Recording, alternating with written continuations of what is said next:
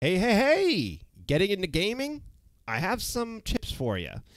So, there are so many different tips that I've seen from people, but I want to get technical for a reason. You should know your hardware, what it can do, and what its limitations are. And we'll talk about that right now. No intro. Let's start with the mouse. The mouse is going to be very important, and there are many ways you can configure this mouse. So we'll start with configuration before we talk about upgrades. On Windows, you absolutely want to turn off enhanced pointer position. So go to your start menu, type in control panel, go right in there. Yeah, why not? We're going to go to mouse as soon as I find it. And then pointer options. You're going to turn off enhanced pointer precision. This gives it kind of like an S acceleration curve. Uh, meaning, if you move your mouse slow, it moves slower. If you move your, mouse, your mouse faster, it moves faster. This is a problem because this means now your mouse movements are not linear at all. So when you turn it off, you're going to notice right away your mouse feels a little weird, but you'll feel more in control. Because if you move your mouse fast back and forth between two points, the cursor will not stray on your screen. It'll stay in that area. With that checkbox turned on, if you keep moving it back and forth in the same location, you'll start seeing your cursor just drifting off in a certain direction. That's not good. You don't want that on a game. Also, keep that speed setting in the middle or less. Any higher, and if your mouse is not adequate enough, it'll skip pixels. Seriously. Because now you don't have an S curve and it's linear, you can't make up movement that's not there. So if you speed it up, but your mouse has a lower DPI, when you move your mouse cursor slow, it'll jump a few pixels at a time. Well, really more like a couple. But in competitive gaming, that's a problem. You don't want that. So get a mouse that has multiple DPI settings. Then you can leave that control in the center. Or in the case of my Lenovo Legion M500, I'll show you the software real quick. This is the software to this mouse. And actually, I'm going to close Outlook just in case someone emails me and all this. I don't need that open. So this mouse supports three profiles, which is good for three different people, each supporting different color settings because it's RGB. I hate RGB, I'm sorry uh, reconfiguring the mouse's buttons and what they do, but also five different DPI settings, of which I can change just by pushing a button on the mouse. And the cool thing is, at least on this mouse, that's in the hardware. So I can take this mouse, plug it into another computer that doesn't even have the software, and all those settings still apply. That's awesome. Keyboards you want a keyboard with N key rollover, and the the reason is simple. Two key rollover keyboards are very very limited in um, that they can only at most handle two keys at a time. Control Delete works because of just how the matrix is wired up, but you don't know what the matrix is like, uh, so some key combinations might just be an issue. That M122 over there, Doom 2016, moving around with WASD and doing glory kills with F, it doesn't always work because it's two key rollover. I'm using a Model FXT. It has N key rollover and it works real great. So N key rollover is very important. Now, let's talk about um, ports. USB or PS2. If you have a motherboard with PS2, maybe get a PS2 keyboard and mouse, at least a newer one, if you can. And the reason for that is USB has to be pulled, meaning if you move or press a button, your processor has to constantly ask those peripherals, did you do something? Did you do something? Did you do something? That's a problem. And I actually skipped something on the mouse, in which case there's polling rate options. Get a mouse with at least 500 hertz polling rate. You can get one with 1000 hertz, but I honestly don't see the difference in game.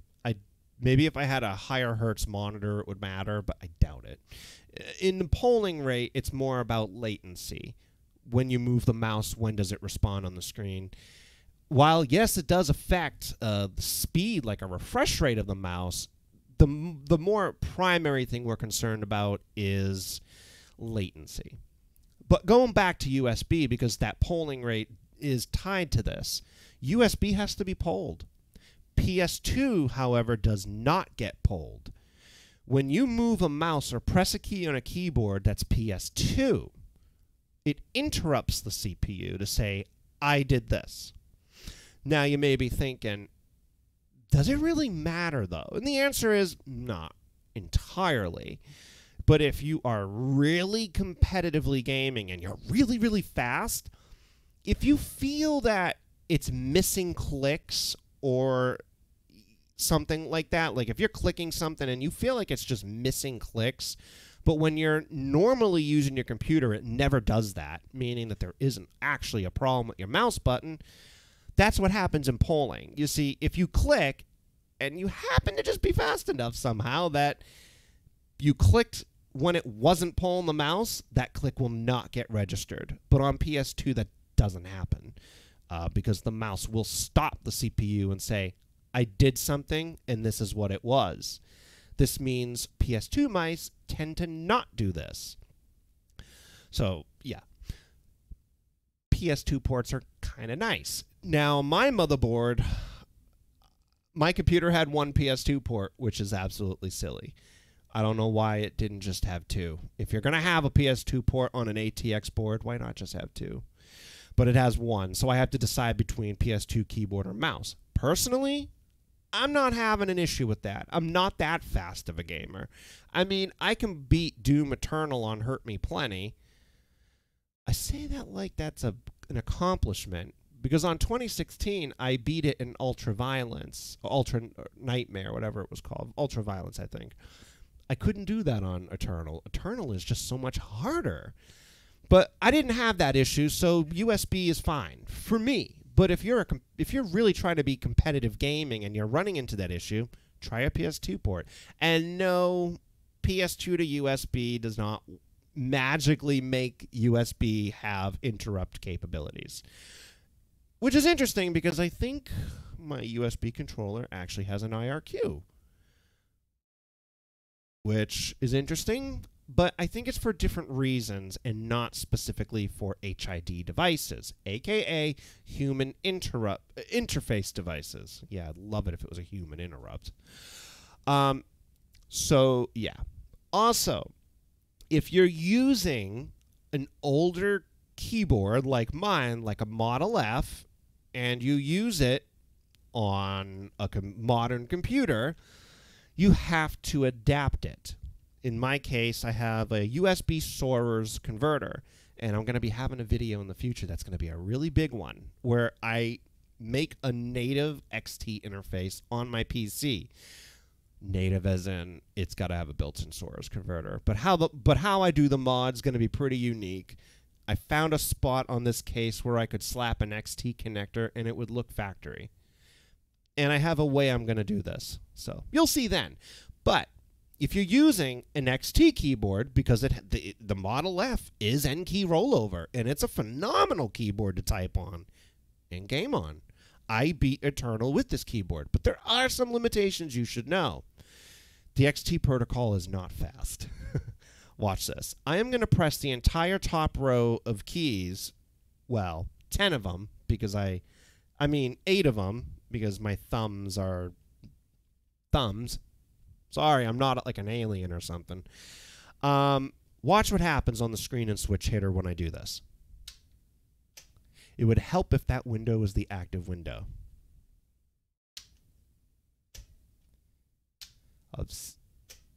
Do you notice something? It scanned them in, even though I pressed them all at the same time. They didn't all register at the same time or release at the same time. That's just how the XT protocol is. It's slow. I mean, the MCU in this keyboard is not even as powerful as an Atari 2600. You can't ask for that much out of it. Um, but if I could beat Doom Eternal, relentlessly hard as that game could be, um, with this keyboard, then there's no reason why you shouldn't either. But I'm not a competitive gamer. So maybe you need that exact speed. But I really doubt it. Which is why I really doubt you're going to need a PS2 mouse anyway, either. But there's the technical explanation as to what kind of benefits it could offer you. Do I have any other advice, though, for peripherals for gaming? Not really. Um, ultimately, it's up to the gamer. It, you know, it's easy to blame the hardware you're gaming on. Or at least in my case with my Model F. Originally, when I started Doom Eternal, it was very easy to blame it because it was the problem. In my case, the keyboard connector looked like it was soldered by Helen Keller with a thousand degrees Fahrenheit heat with no flux. I have no idea who replaced the connector and the cable on this keyboard, but I'll tell you what, they weren't good. Um, it was causing phantom keystrokes because the ground wasn't soldered. And besides, once I took it apart and saw what it was, it was better to replace the connector anyway. It was a third party replacement made in West Germany. Seriously. That's how old that repair was. The connector said made in West Germany. Unless it was new old stock or something. But this connector looked like it's been through so much, so I can't imagine that being the case. Um but yeah, it was having phantom keystrokes, and because Model Fs are very sensitive to grounding issues. Seriously, they need a 100% perfect ground to function. If they don't, they act up. And well, I was starting to wonder why I kept falling off of all these jumping and things I'm supposed to be doing in Doom Eternal, which I hate about that game. All these flips, wall climbing, and jumping. Yeah, it was a nightmare. Because every time I would jump, it's like the keyboard would decide to go left, go right, and I'm like, I swear I'm not hitting A or D. Well, the keyboard was. It thought I did. Um, so, like I said, it's easy to blame the keyboard, but it's ultimately up to the gamer, unless there really is a hardware fault causing an issue. But if your hardware's working, it's usually the gamer. Now, can you game on rubber domes competitively? I would not recommend that. And it's not just because they're going to be usually two or three key rollover, uh, usually. There's exceptions. Don't be pedantic about it. Um, the problem is the squishy feeling gives you gives you no guarantee that you actually hit the key. Um, I've used Cherry MX Blues, and I've found that they chatter. Uh, my problem with micro switch based key switches is the chatter. I have never had a problem with key chatter on an on a buckling spring keyboard ever. So buckling spring is my choice, but also when I'm playing with my headphones on, especially on the Model F, I didn't have to hear it to know if the key registered. I could feel it.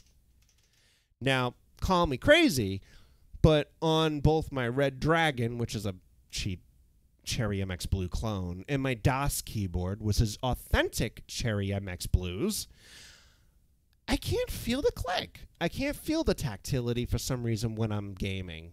Maybe it's just because I'm I have so much caffeine in my system when I'm gaming and I'm playing so fast that I just don't feel it. But on buckling spring I do. And to me buckling spring is great for gaming when I'm playing with headphones on. So that's why I chose this combination. It wasn't just nostalgia. To me, it was the practical gaming keyboard, as weird as it is. But also, function keys on the left, that's useful for games, actually. Having those function keys on the left allows me to essentially use my pinky to just quickly hit a function key. And if I hold down Alt, I have other function keys, namely for the NVIDIA GeForce Experience, so I can screen record. Which I hate the GeForce Experience, but it records my games better than OBS for some reason. OBS just drops frames like mad. The NVIDIA one doesn't drop frames at all. So I end up using that, but then I have to dub my audio because for some reason the GeForce Experience isn't recording my audio correctly. I think it's because I have to use voice uh, Voicemeeter banana and I think there's just some kind of incompatibility. But OBS works fine with it, as you can see. Um, I'll show you. I'm using OBS here with Voicemeeter banana and it runs just fine. But for the for some reason the NVIDIA GeForce Experience it wouldn't work. And what is this program exactly? Well, without it, my microphone actually sounds like this. This is kind of my magical tool that does magical voodoo, and it works. So it makes it sound better for you, uh, namely, because if I'm talking to someone on a game, I don't really give a hoot. Uh, but for you, the YouTubers, I would rather you have better audio. Anyway, have a good one, YouTube. Uh, I figured this video would be helpful for anyone getting into gaming and just need a little hand, namely with your keyboard and mouse and what you can do. That's it. Oh! There's one thing I almost forgot. One more thing. And I'm just going to show you how to find it. If I can find it, because I keep forgetting where it is. Let's see. Control panel. Where is it? I smell pizza. Ooh, my roommate's making pizza. I can't wait. All right, where is it? I can never find it because I keep forgetting what it's called because I never use it. It's an accessibility option. I know you're if now that you know there it is, ease of access center. You want to go into ease of access center and under all of these, go into them and turn off the keyboard shortcuts if there's one thing that's the most annoying, and I don't know why I'm not seeing it here. I guess maybe, oh, here it is. Turn off high contrast when left alt, left alt, left shift, and print screen is pressed. Well, I can't even use that on a Monolith because the print screen, uh, print screen generates a different scan code that's completely incompatible with Windows 10.